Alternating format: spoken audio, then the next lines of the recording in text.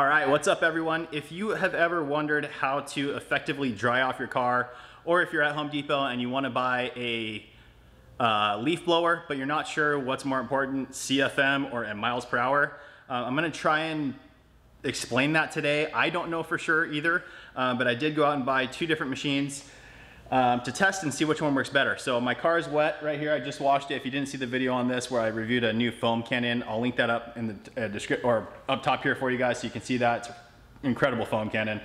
But we're gonna go ahead and test out two different leaf blowers, one with a lower CFM rating, which is uh, the volume of air that it moves, uh, and a higher miles per hour rating. And the other one has a lower miles per hour, higher CFM. So we're gonna try and see if we can kind of debunk this and figure out what you need to effectively clean, uh, dry your car or to effectively move dirt, leaves, and all the other stuff around your house. So stay tuned, we're gonna check these out. All right guys, so for this video, uh, we're gonna be testing these two different Toro machines. One uh, here is just a blower, the other one is a blower and kind of a vac system where it mulches your leaves. So if that's what you're looking for around the house, that's probably gonna be the solution for you. Um, however, doesn't matter the brand, we're looking at the CFM and miles per hour rating. So we're gonna jump into my computer real quick and look at those uh, of these two machines. It's basically, one has twice the amount of CFM and one has twice the miles per hour. So we should be able to get a good uh, test. Guys, so here are the two units that I'm using in my test. These are the two units that I actually have and I'm using in this uh, video. Um, the one on the left uh, comes with the extra accessories because it has a vacuum attachment to it so you can actually mulch leaves and things like that. So, um, but that's not important to us for this video. In this video, we're just trying to see which is more important. Miles per hour, uh, the higher miles per hour rating, or the higher CFM rating. Um, so basically, the one on the left here, um, it, you, as you can see, it is rated at 260 miles per hour versus the one on the right, um, is actually rated at 140 miles per hour. So basically, this one over here on the left has twice the mile per hour rating as this one, just about.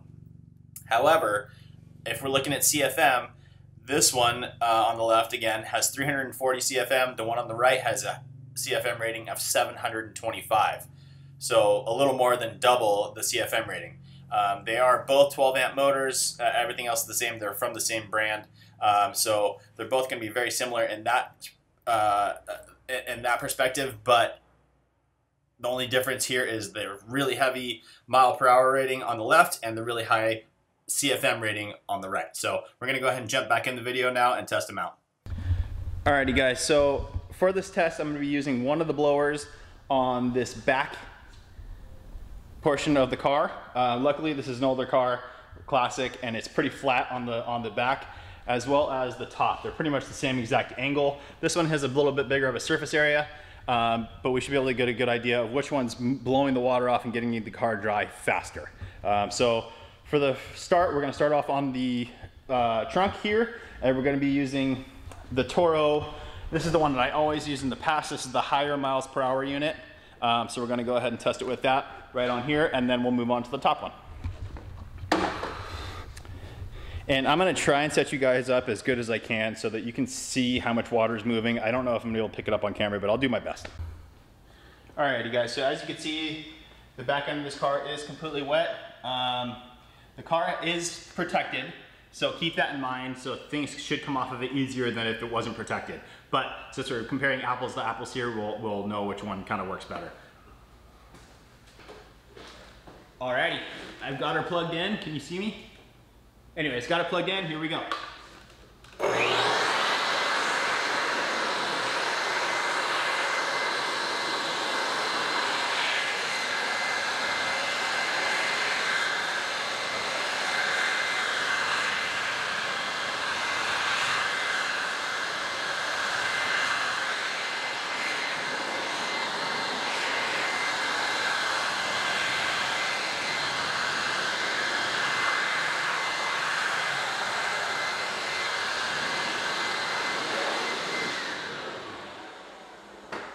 Right, guys, so just a slight bit of tiny, tiny water droplets left over, but other than that, it's dry and uh, looking good. So really fast, that thing works great. Uh, we will weigh the two just so you guys can have an idea of what the difference is there. But I'm gonna go ahead and set you up on an angle to see the roof now. All right, guys, so you can see the roof well, you can see all the water drops on it. I'm gonna hook up the other machine um, that has the higher CFM rating and test that out and see how it works. All righty, here we go.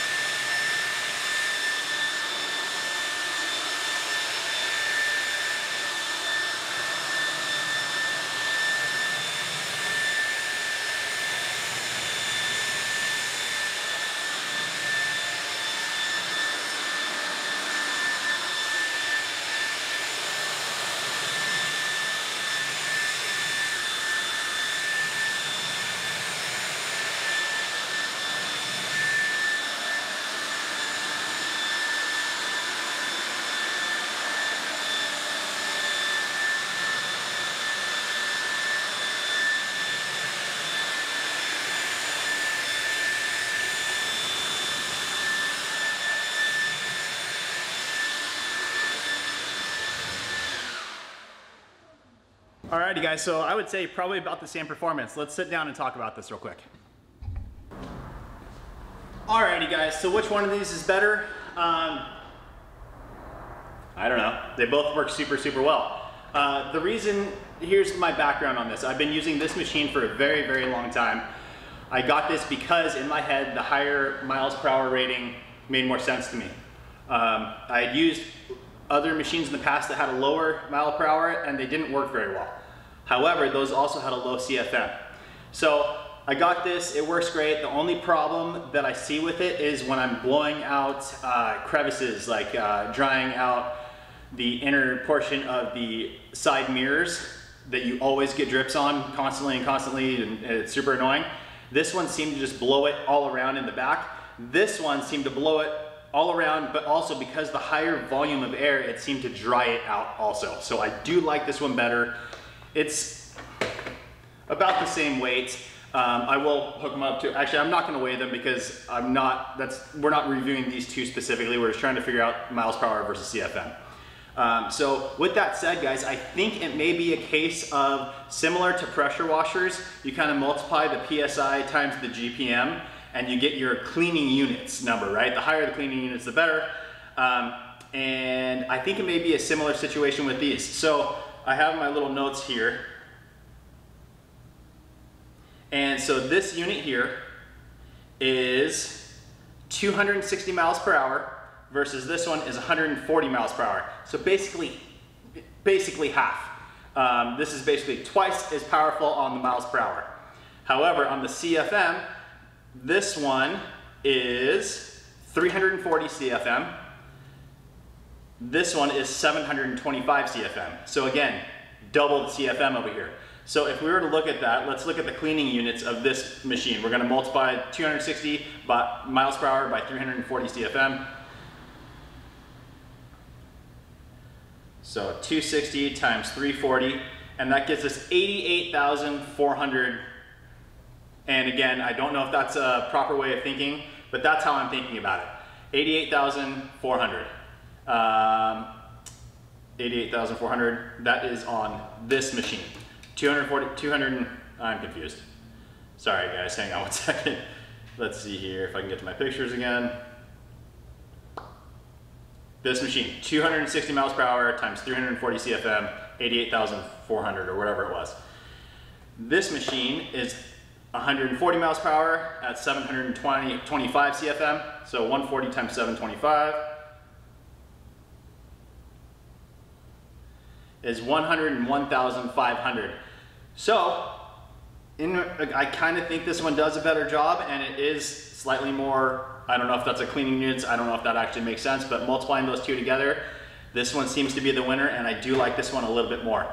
So I do think the higher CFM is uh, more beneficial over the miles per hour. However, because this has such a high mile per hour, it makes up for it and kind of evens out. Um, I have used some of the cheaper units from Black & Decker and things like that. Um, let's see if I can find one for you guys. Let me go on Home Depot real quick and let's look at a, compare, a comparative unit. All All right, guys, so I'm looking at uh, HomeDepot.com right now. Um, this is a sponsored ad, so I don't know if they have it in store or not, but basically it's a Sun Joe electric leaf blower, similar to these units, they, you have to plug them in. Um, this one that I'm looking at is only $18.91. However, it is 155 mile per hour wind, uh, which is more than this guy, but it's only 200 CFM. Um, and the CFM on, yeah, so it's below the CFM on this one as well, but um, that unit, again, 155 times 200, I should be able to do that math in my head, but I trust a calculator more than my head, is only 31,000. So I think that's kind of our indicator, guys. Take the, the miles per hour and the CFM together, and as long as you're sitting around 80,000 plus, you're gonna, it's gonna be a great unit uh, and, and a great choice to clean your, or to dry your vehicle, to move stuff around the house. I think if you are trying to move heavy leaves and things like that, they say that the higher CFM is better.